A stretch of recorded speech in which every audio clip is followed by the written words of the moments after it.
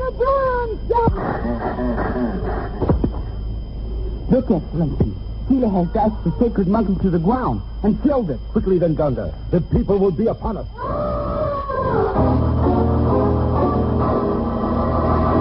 Kids, don't miss this exciting adventure with little Ganga and his great bull elephant Tila.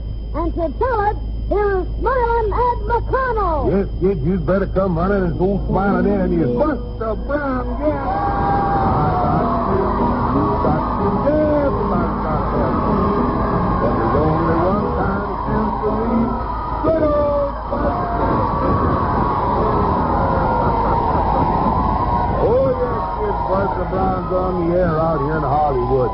With Smiling Ed, Squeaky the Mouse, Midnight the Cat, and Froggy the Gremlin. And we're going to start our program off right now with our story.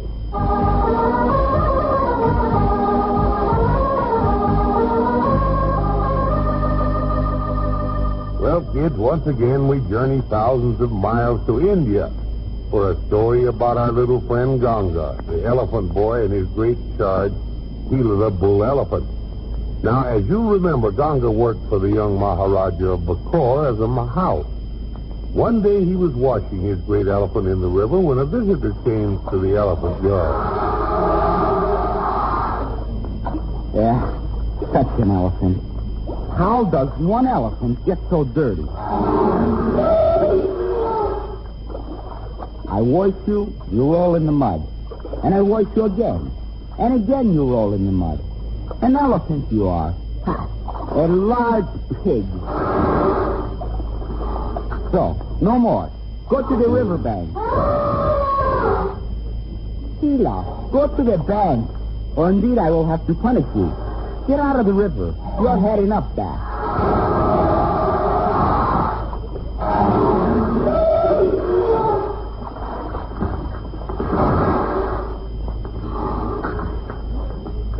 So, now you're drunk, Tila. Put me down.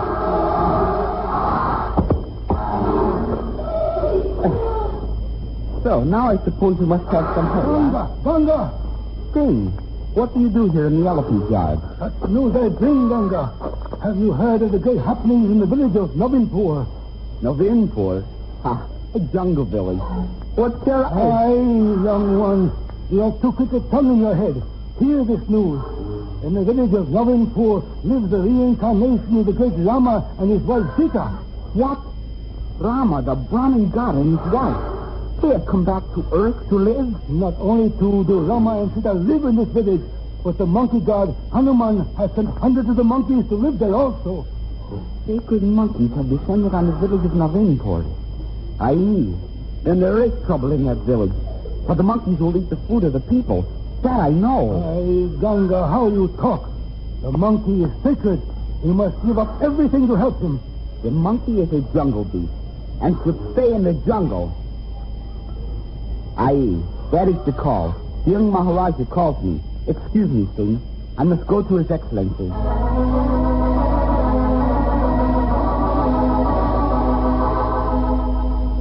Yes, kids, in India, many superstitions still exist. Now, there are some people in India, like little Ganga, who refuse to believe the ancient myth of Rama and his wife Sita and the monkey god Hanuman. But millions of people do believe, and getting them to understand the truth is a long and difficult job. Anyway, little Ganga answered the summons to come to the palace of the young Maharaja. Uh, Ganga, you have read the Ramayana. Excellency, I've read many verses of the great poem, but not all of them. But the story I know. Uh, tell it to me. I would like to see how much you know. The story is simple, Excellency. Thousands of years ago, according to the Ramayana, the god Vishnu came back to the earth as the man Rama. This Rama had a wife named Sita. One day, the demon Ravana captured Sita and carried her to the island of Ceylon. And that is right so far. Uh, go on. Well, Rama called on Hanuman, the monkey god, who was supposed to be the child of a nymph and a wind god. Hanuman called all the monkeys to help, and they carried many big rocks and threw them in the river.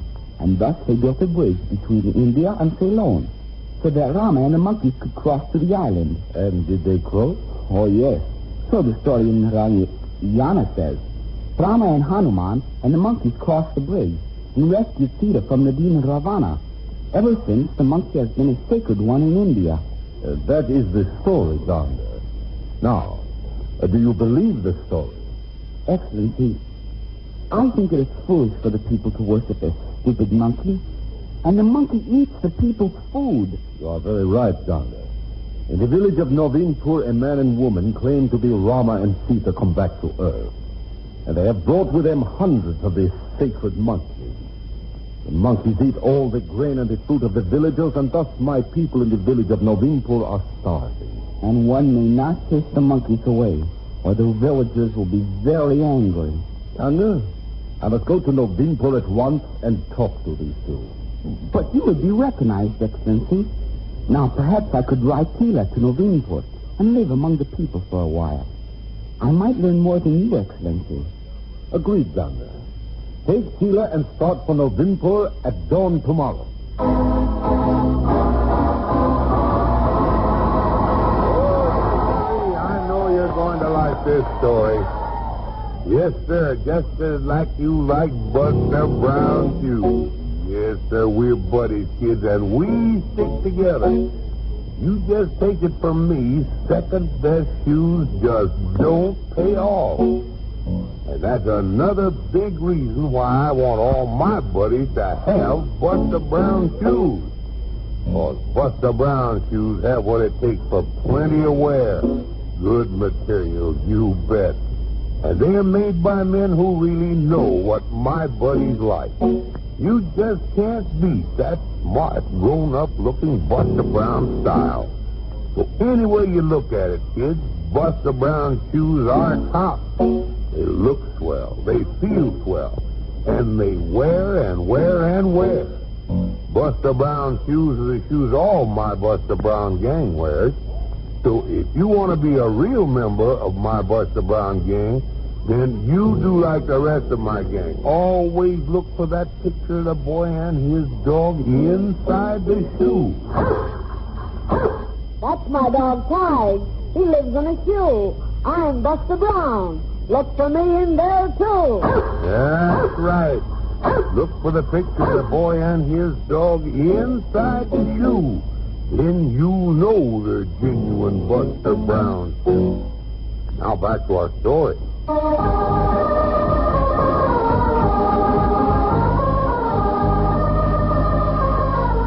Well, Ganga and the young Maharaja were certainly surprised to hear the strange news from the village of Novinpur that a man and his wife claiming to be the gods Rama and Sita had come back to Earth and were making their home in the village.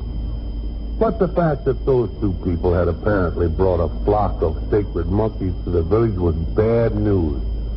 For as often happens, these monkeys will descend on a village or town in India and eat everything the poor people need for themselves. And because the Hanuman monkey is thought to be sacred, no one can stop them. And so Ganga resolved to go to Novinpur to see what's happening. He rode Tila through the jungle until he reached the outskirts of the village. Stop, Tila. Now, here is a good hiding place. Here is heavy grass, and here are great banyan trees. Yet I'm sure no one from the village will come out here to cut food for the oxen. Your trunk, Tila. Put me down. So, now let me put your leg chains on and...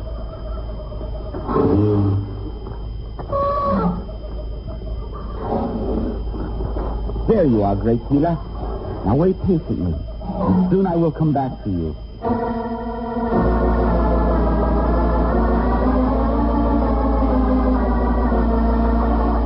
And so brave little Ganga walked straight into the village of Novinpur and asked questions and directions to the house where the supposed Rama and Sita lived.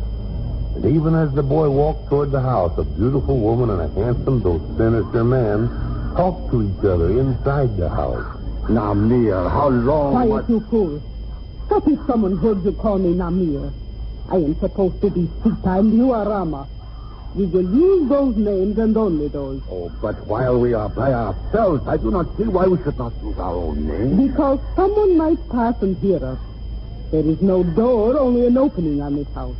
As long as we are playing the parts of Ram and Sita, we will play them well. Uh, very well. I, I will remember to call you Sita. You do not think it is time to leave this village? No. There are more rupees to be had here. Yes, but the food supply is down so low, the village is near to starvation now. Ah, what do I care for these fools in Novinpur? They still have many rupees hidden in jars and pots in their homes. We will have every rupee we can find. Then we'll leave their miserable village and move to another. Soon, my fine husband, we shall be rich. Mm, perhaps, but oh, I grow sick of this life with monkeys. Work, work, work. Look at them. I feed them, I bathe them, I clean up after them. And for thanks, what do I get? They bite me. Especially that big brute, your favorite one. Baka? Baka there is the smartest of all our trained monkeys.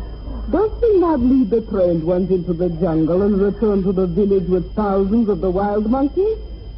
How else could we control the village without Baka and the other trained monkeys? Yes, but the work I must Ah, you are a lazy lout. But we will do as I say until we get every rupee out of this village that we can find. Meanwhile, we... May I come into the revered presence of the great Rama and Sita? Hmm, it is a boy. What do you want here, boy? No one is to enter this house. But I have journeyed far, having heard that here in Novinpur were the divine ones. I have come only to offer to work for you and to help you. Well, boy, we have nothing. But my dear Sita, perhaps the boy could help us care for the sacred monkeys. Hmm. Perhaps this would be a wise idea. What is your name, boy? I am called Ganga.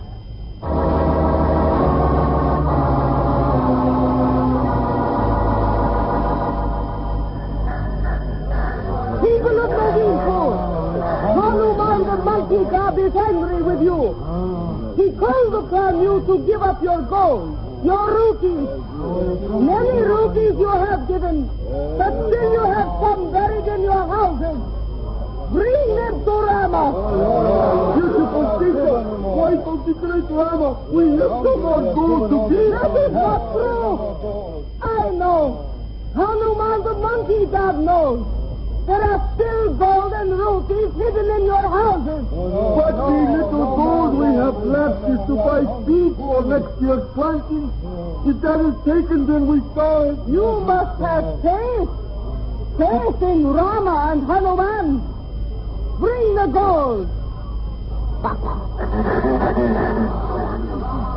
Call the wild ones, Baka. Call them. Bring them to the village from the freeze of the jungle. Call the wild ones, Baka. See you, people of Novinpur. The chosen ones of Hanuman will come again to take away your food. Hanuman is displeased. Bring your bow to Rama. Bring your bow to Rama and quiet the wrath of the monkey god. Hanuman.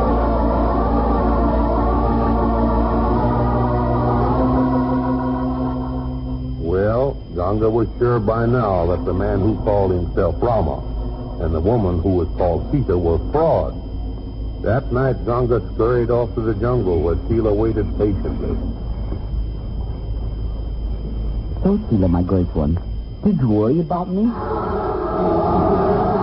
I was very busy. But now you have work to do.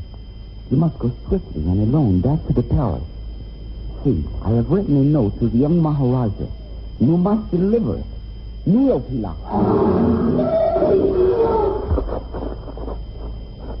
Now, see, I will put the note in the plate of your head harness. So, now, up, Tila. Up. Now, home, Tila. Go home.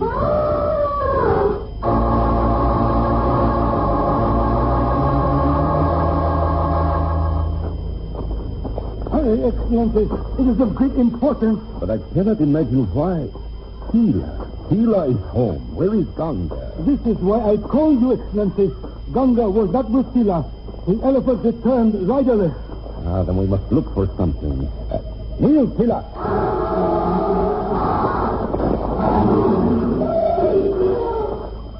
Now then, Ganga rode Tila's head. He did not put on the halter. So, we look on the head harness. Oh, Tila. Oh, as I thought, a note hidden in Tila's head harness. Here, let me read this. Mhm. Well, things happen fast in Novinpur. Let's see. Yes, Excellency. Hold the Mahouts to put a light hunting hut on Tila. I go to Novinpur.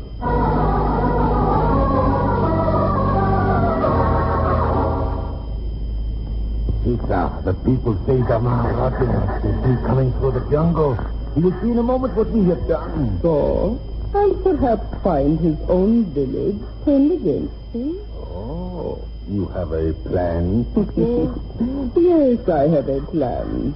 Uh, The monkeys, why are they permitted to overrun a village and eat the food of the people? Why? Because the Hanuman monkey is sacred to the people, of course. And if a person strikes or injures one of them, then what? Well, he might be torn to pieces by the people. But I Listen. what... I will meet the Maharaja to speak with him. I will take Baka with me. Baka is surly and bad-tempered, but he is still a Hanuman monkey. I will make him attack the Maharaja. I am sure he will fight the monkey. Then we will see what the people think when they see the sacred monkey struck to the ground.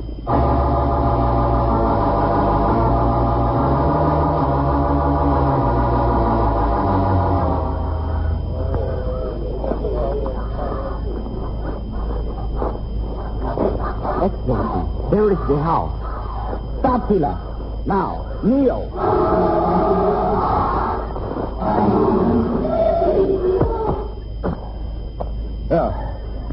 Stay on him, Ganga, and be ready.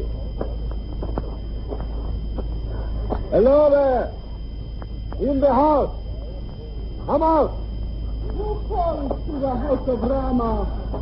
It is I, the Maharaja Bako. You would be the one who calls yourself Sita? You would be the one who makes these thousands of monkeys prey on the village, eating the people's food? I? Yes, I am Sita. Am I not, Baka? I'm sorry, young woman. You may deceive the people of the village, but you are not Sita, nor is the man with you the god Rama. It will be far better for you if you do not try to fool me. Baka! Attack! Come on,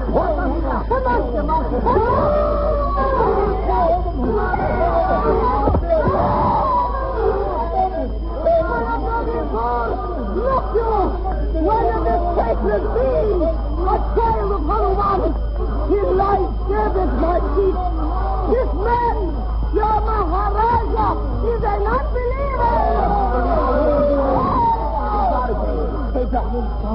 People of the elephant killed the monkey, not your Maharaja. What this I say to you? Lay one hand on the Maharaja Sahib, and I will send the elephant charging at you. So, that is better. Now, speak, Excellency. People of Novinpur, the two who claim to be gods are not. They have stolen your hard-earned rupees, and even now, the money is already in a bag in the house. Soon they would have left you, and you would never have seen them or your gold again. In fact, we will You take... will take away my gold? You will drive me from the village? No! First you will die! Hold her high. Hold her tight. Hold her high. Young woman, your life is in grave danger. Tell the truth quickly, or the great fool may well dazzle for a I while. will take over Jane! Do let kill me! Let him do to be done! When you have confessed, the elephant will release you from his trap. We brought the monkeys by sending our friends animals into the jungle to bring the wild ones. The rupees are in a sack in the house. Now, please, tell the elephant to put me to the ground. Shall I, Excellency? Uh, not yet, Donald. Uh, one more thing, young woman. Yes, The monkeys. Before you go free, send the monkeys away. yes, yes. Cora, Naku, Mirabuna. Go for the jungle. Don't leave the wild ones away.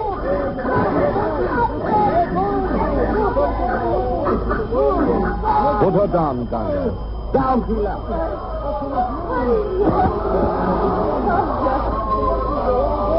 Now, Excellency, what do we do? Watch the woman.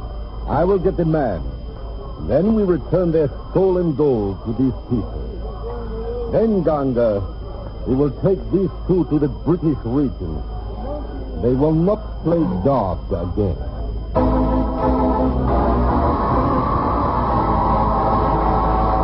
Oh, you betcha. Yes, indeed. I knew you'd like that story. Oh, oh, Louis, no. Smiling Ed. Ed. Is it true what they say about Froggy? Oh, my goodness, kid. It's Mr. Trapper, the great explorer. Hello!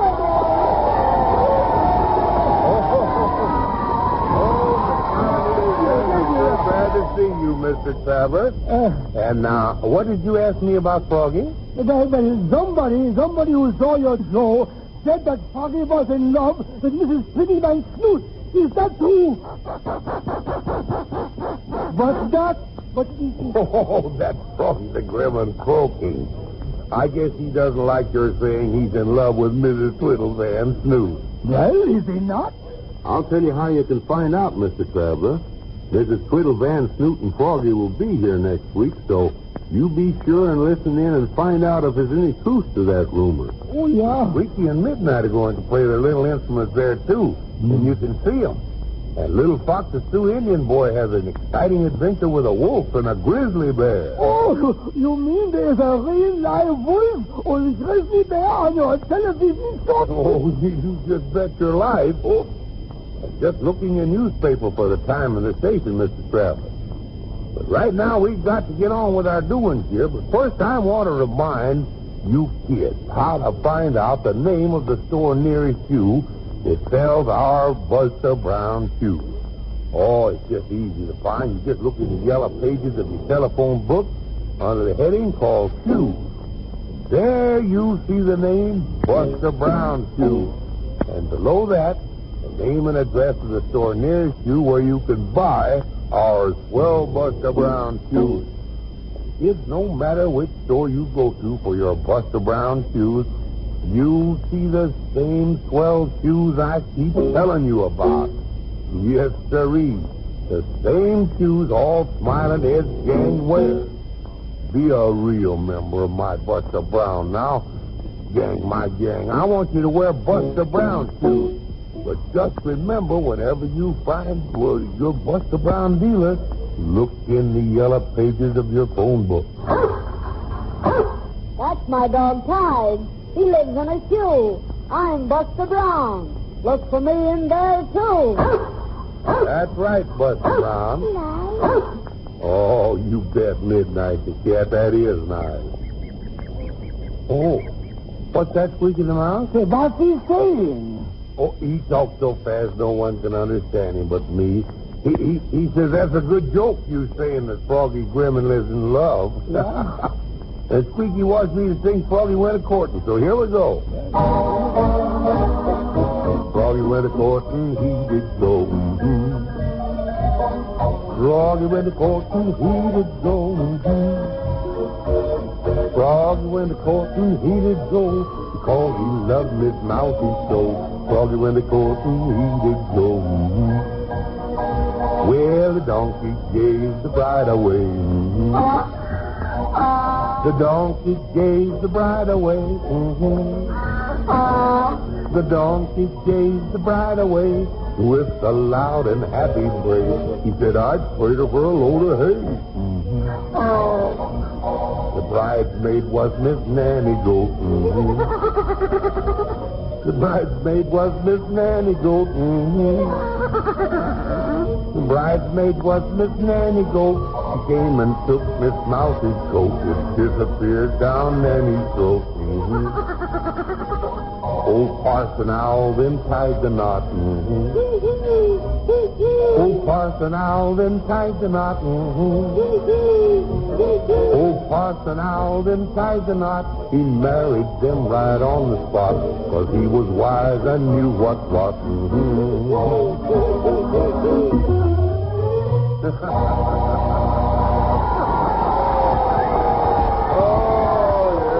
Well, thank you, thank you, kid. And now, Mrs. Traveler, on uh, on second thought, uh, you can talk to Froggy about this supposed love affair right now if you want to.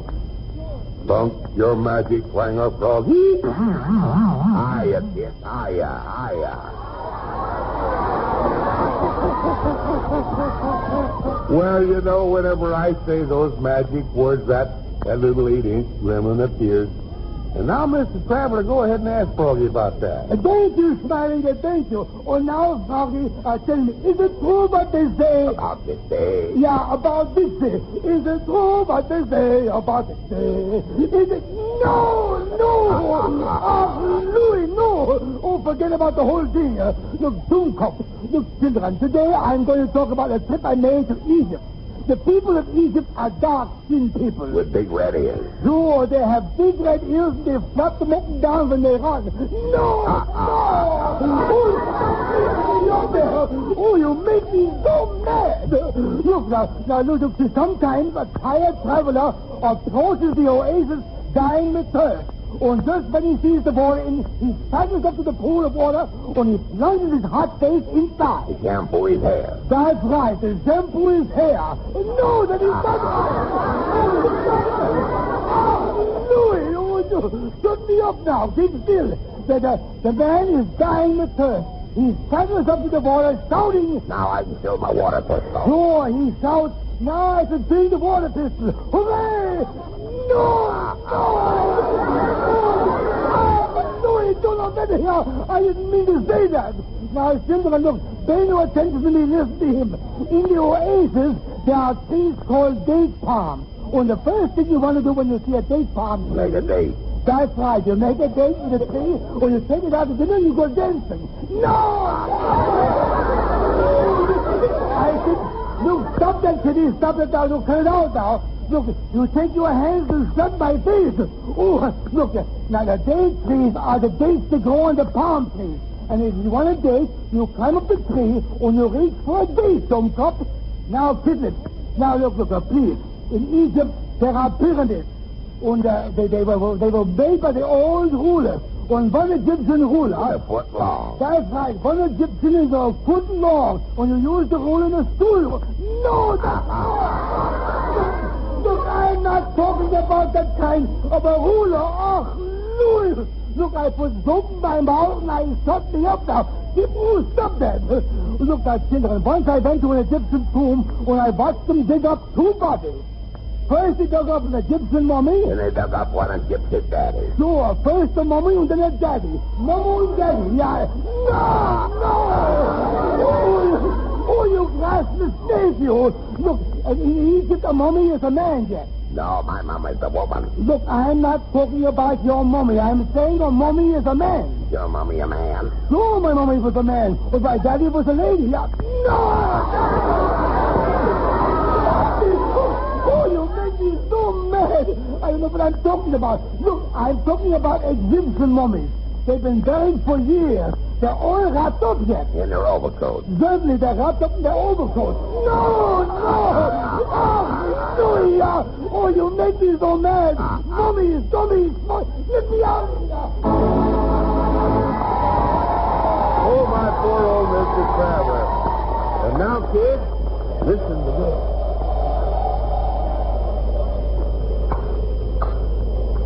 Come on, boy. Come on, Pete.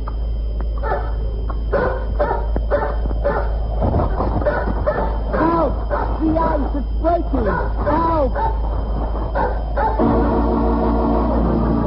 Oh, yes, we've got an exciting story next week and some other things I'll tell you about in a minute. But first, I want to tell all you kids how you can be a member of Smiling Ed's Buster Brown gang. Yes, sir. I want everybody to belong to my gang. Everybody can who wears Buster Brown shoes. You know, kids, those Buster Brown shoes are what shows we're buddies. Yes, sir. We all stick together. And we wear 'em 'cause we know they're the best shoes anywhere. Oh, they really look like something. Smart and grown up. Made to take plenty of hard licks, too. And boy, they really feel good. Oh, you bet.